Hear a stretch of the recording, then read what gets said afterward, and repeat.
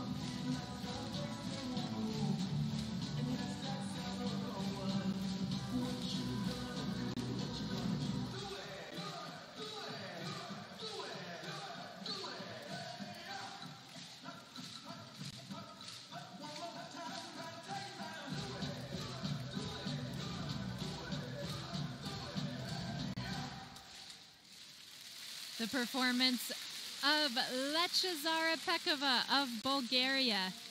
She was in ninth place in the all around heading into this final day of competition.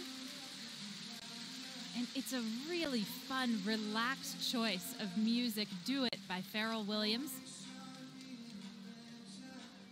One minor loss of the apparatus briefly in this routine.